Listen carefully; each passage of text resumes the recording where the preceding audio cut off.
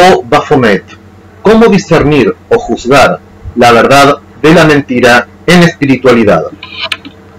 Saludos divinos al Cristo interno en cada ser. Soy Leonardo, en mi canal, El Teísta Esotérico 1001, donde hablo sobre espiritualidad y esoterismo. Ante todo, un resumen de mi cosmovisión personal. El Dios Altísimo es el todo y la nada, la magna presencia yo soy, fuente de la creación.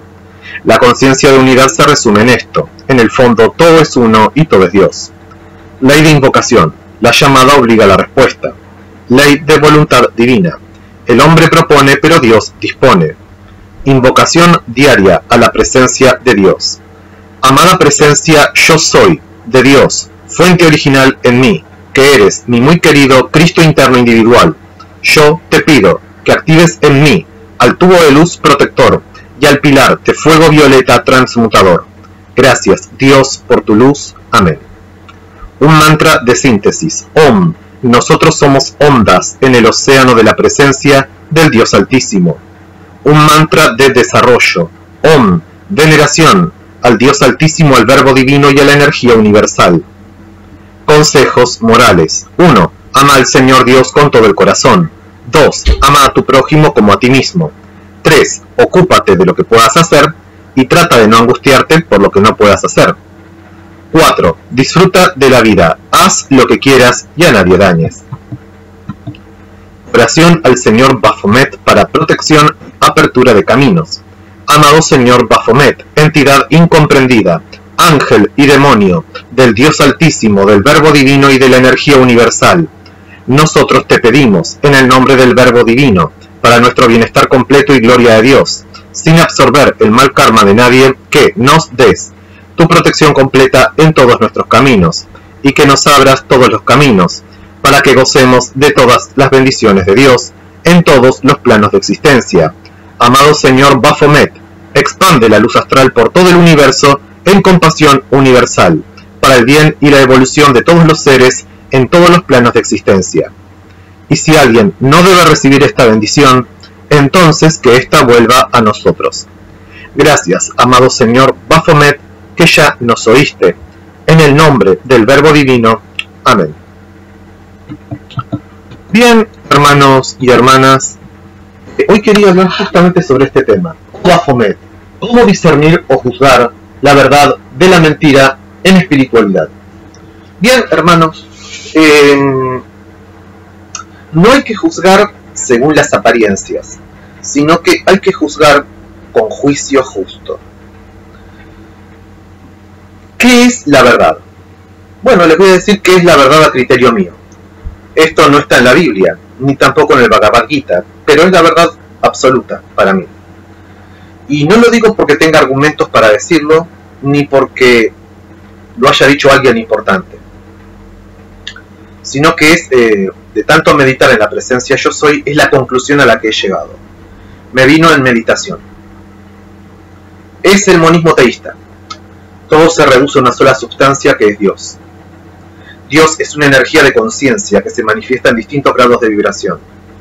El universo mismo es un grado de vibración inferior a la conciencia absoluta.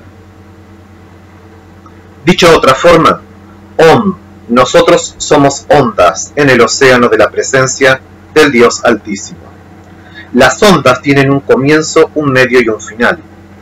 Pero el océano de la presencia del Dios Altísimo, es decir, la conciencia suprema, es el océano de la eternidad. No tiene ni principio ni fin.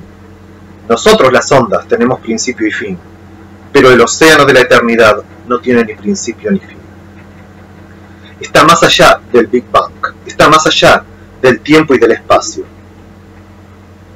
Es la conciencia absoluta. Esa es la verdad absoluta, para mí, ¿eh? ojo, para mí. Entonces, partiendo de este criterio yo discierno qué es verdad y qué es mentira. Pregunta, ¿los siete principios herméticos son verdad? Rotundamente, sí.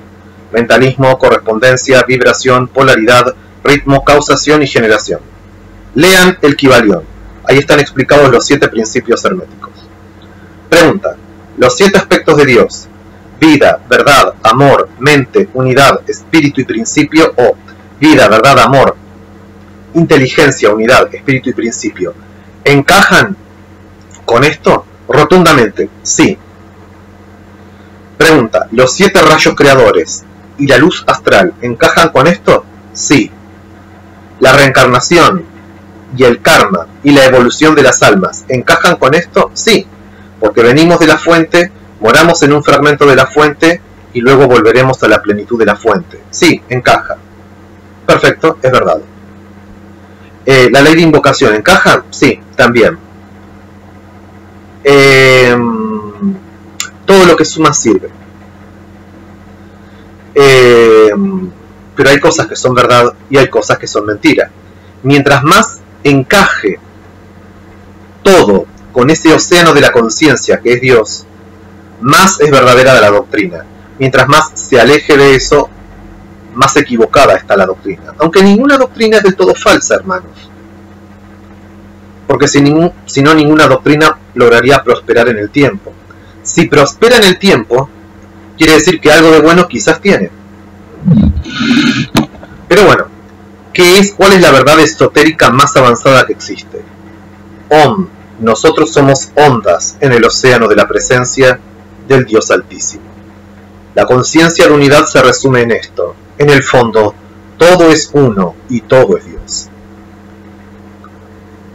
Entonces, eh, ¿la Biblia encaja con este pensamiento? No, porque dice que hay un Dios verdadero y que los demás dioses son falsos. Y que el Dios verdadero tiene un nombre específico. Y que cualquier otro nombre que utilices para, invocar al Ser Supremo es equivocado. Y que esta teología es la verdadera y todas las demás son falsas. Bueno, la Biblia se aleja bastante de lo que es la verdad, hermanos. La Biblia es un engaño de nuestra propia conciencia. No es la palabra de Dios. Es la palabra del hombre que le atribuye cosas a Dios. La palabra de Dios está en sus obras. La palabra de Dios está en la creación, en el universo mismo, en las leyes de la naturaleza. La Biblia tiene algunas verdades mezcladas con muchas mentiras para manipular a la gente. Es un texto que se aleja de la verdad. Justamente cuando uno lee la Biblia y se da cuenta que hay cosas que no cierran, uno después ¿qué hace? Lee el Kibalión. Y como el Kibalión encaja más con la verdad espiritual, uno después profundiza en su meditación en Dios y recibe la conciencia de la realidad sustancial. Y esa realidad sustancial es el todo mismo. Esa realidad sustancial es el Dios altísimo el Dios que lo incluye a todo y a todos.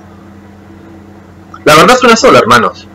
La verdad es que nosotros somos ondas en el océano de la presencia del Dios Altísimo. Mediten en ese mantra, Om.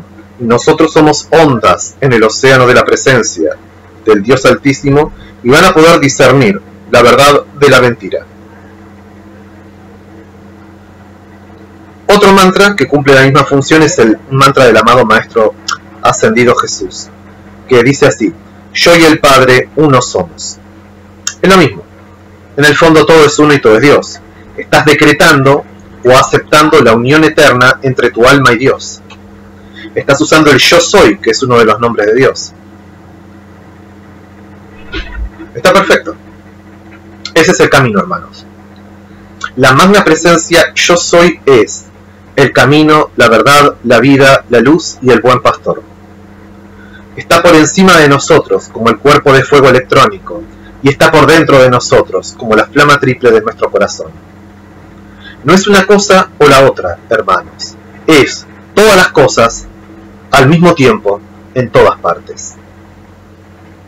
Conciencia de unidad, hermanos, no conciencia de separación, no conciencia de dualidad. Esto es bueno y esto es malo. Para Dios todo es bueno, porque todo contribuye a la evolución de nuestra alma todos estamos evolucionando, los que niegan la conciencia de unidad y los que aceptan la conciencia de unidad. Solo que los que aceptan la conciencia de unidad evolucionan más rápido. Pero no por eso son mejores que los demás. Nadie es mejor que nadie. Como dijo el amado Jesús, nadie es bueno sobre la faz de la tierra, solo Dios es bueno. Él rechazaba que le dijeran maestro bueno. Decían, no, no hay nadie bueno sobre la faz de la tierra, solo Dios es bueno. Pero Leonardo, Jesús está unido con Dios. Jesús era un hombre como nosotros, hermanos, solo que con muchísima más evolución. Él concientizó su unión con Dios y nos invitó a que nosotros también concientizáramos nuestra unión con Dios.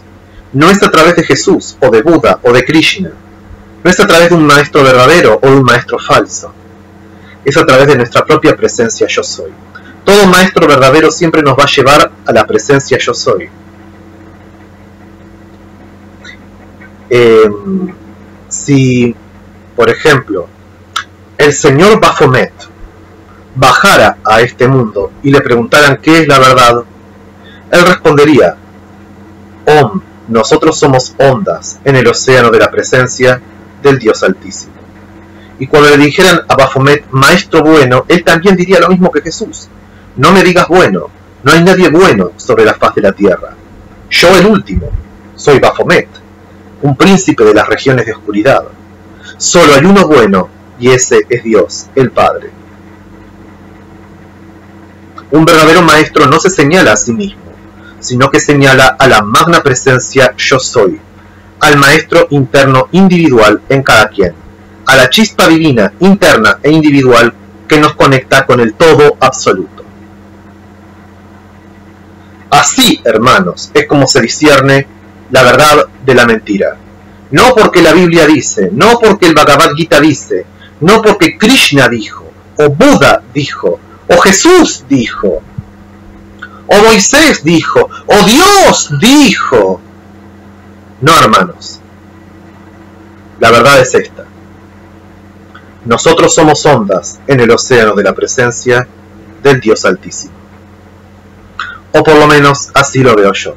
Así es como se discierne la información verdadera de la información falsa en espiritualidad.